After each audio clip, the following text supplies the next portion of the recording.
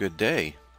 ConFoundit here. And today we're going to be talking. Hold on, hold on, hold on, hold on. Wait, wait, That that's not how I do this.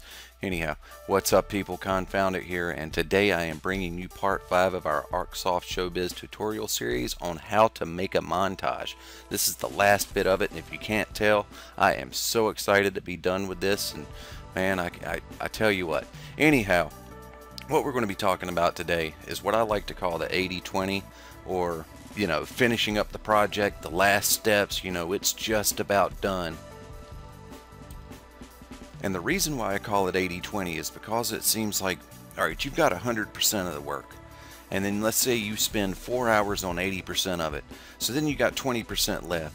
Well, you need to spend 4 hours on the last 20% as well, just because, you know, you need to take pride in your work, pay attention to the details and get everything just as exactly perfect as you want it. I mean, you know, you've put a lot of time and effort into this all the way from playing the game to recording it to getting this far to making a montage. So, you know, treat it with some respect. Alright, so before we get started on this, I'm just going to go ahead and say that uh, I'm going to put, well, I've already got the other four parts up, and then I'll be putting this part up, and then I'm going to edit all five of the parts together and put up one whole long you know, however long it is, it'll probably be like 40 minutes or whatever else. But this way you'll have the option to watch it all the way through or you can watch the individual parts and you can always come back to the parts where you're going to have questions at.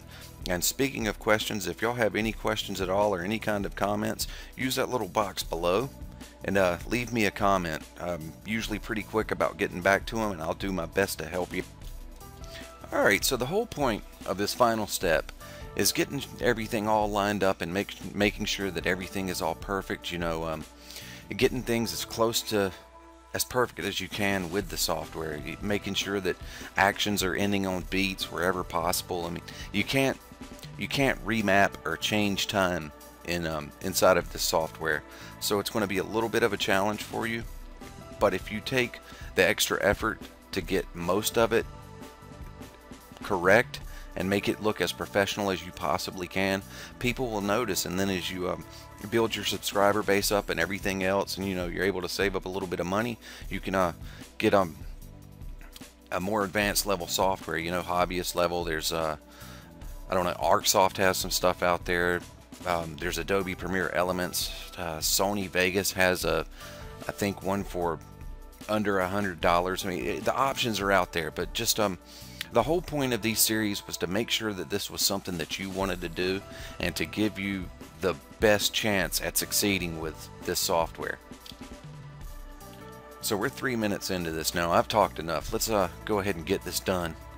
Alright, so um, right here I've got the first clip and I've got the music on it this time and y'all should be able to hear the music as it plays.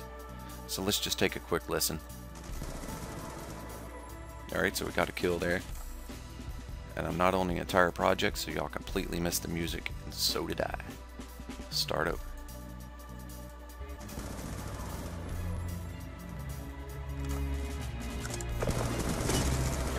That's just the program getting all herky-jerky. Told you that was a technical term.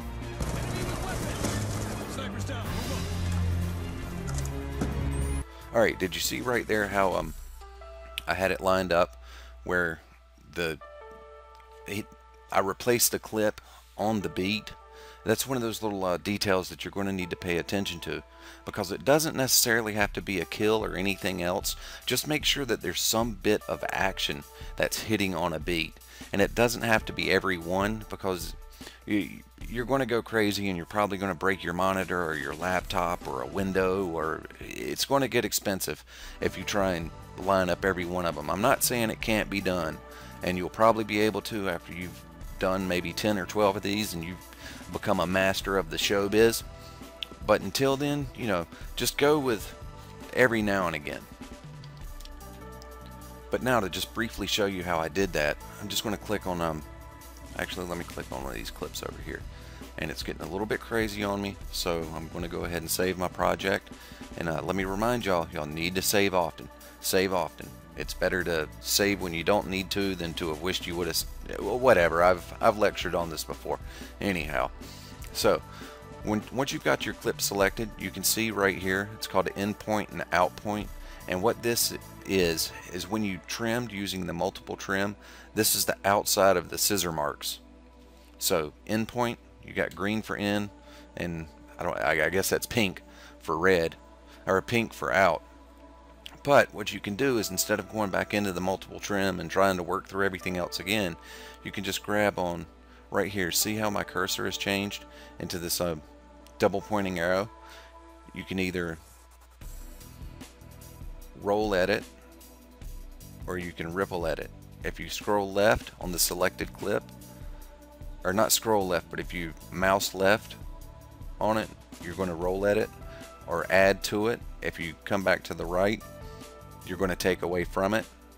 And then you can kind of see, if you look right here, you can tell by looking at the um, the waveform that there's a bit of uh, action in the music, not necessarily in the shot, but in the music. And then if you match up right here, you can look at the form factor for the audio from the gameplay, and you can kind of see that something happened there as well. See right here? Something happened right there. Something happened right there. So just as a little frame of reference, if you can get those kind of lined up, you're going to save yourself a little bit of a step. So let me click that so we can get the entire project and see how that looks.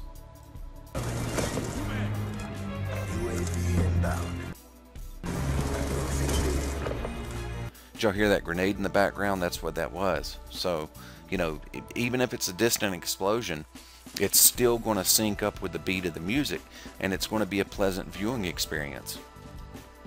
So that's how you can really tweak the clips on your timeline. Now let's um look into adding effects and transitions and everything else. And I'd really like to do that at storyboard mode, storyboard mode right here. And the reason for that is, is because, you know, I can see exactly where the cuts are. And then I'll switch back to the timeline to make sure. And, you know, I'm going to go with um, my old standby. I accidentally clicked on effects. I wanted transitions. I've told you before how I like to fade things in and fade things out. So that's what I'm going to do. Actually, I called it walking them on and walking them off. And now I'm going to save because I'm messing with effects. I mean transitions again. Alright, so now we have what I call my defaults, fading on and fading off, or fading in and fading out, whatever you want to call it. I'm going to look up here at these transitions and see if I can see something that's going to flip. Alright, that's spirals. That zooms in and out. Now zooming in and out, that would carry along with uh, let me back up a little bit. Right now I'm, I'm thinking about this because it's in my line of sight.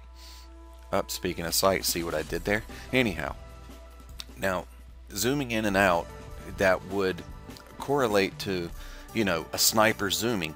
So see how I'm keeping the thought with what they're seeing?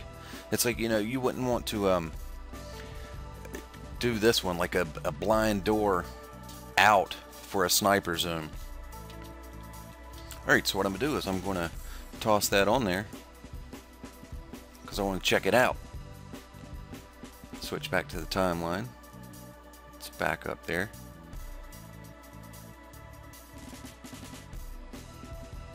I'm going to click on the audio so I can drag it back.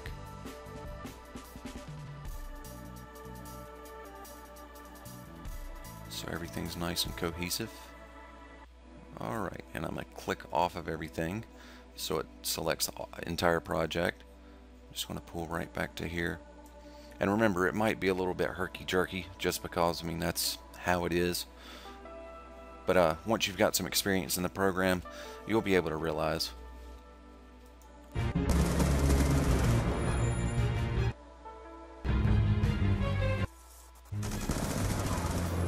Yeah, that would have looked good if it wouldn't have messed up on me. Let me try that one more time. I'm going to go back just a little bit further.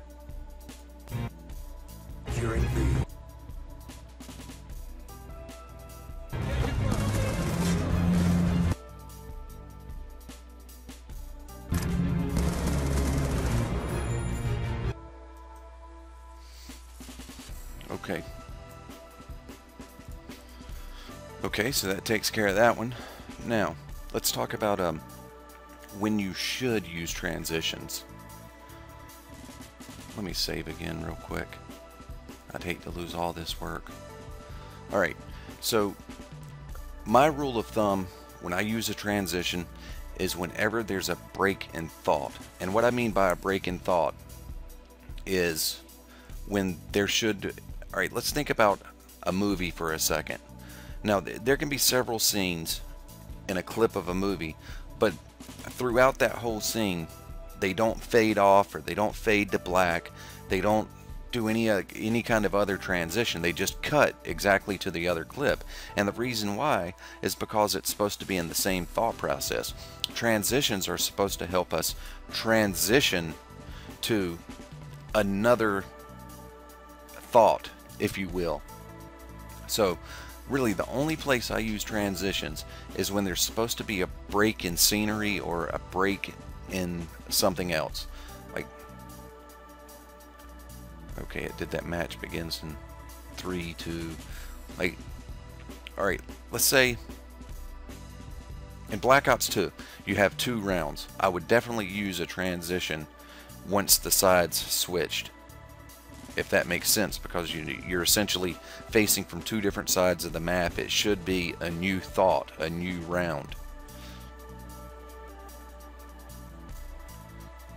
But something like um through here I'm all I'm still all in this section of the map. So this could be considered you know still one scene in an epic fight scene if in fact my gameplay was epic, but we're not talking about my gameplay.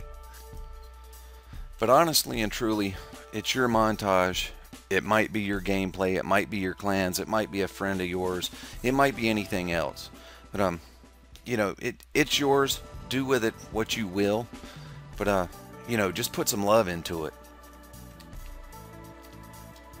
And you you will develop your own style as soon as you've done this more and more. You'll you'll come to your own workflow. You'll find out works what works for you, what works best, how you work the most efficiently, and get the best results that you're proud of.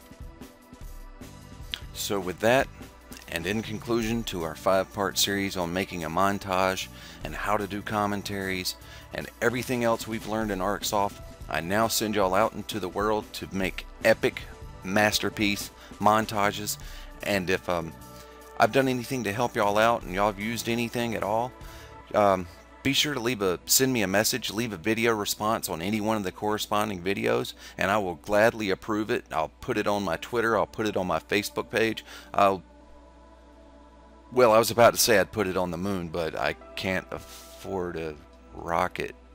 So I'll put it everywhere I possibly can. So y'all have a great day and y'all have fun with this. Oh yeah. And y'all come back now, you hear?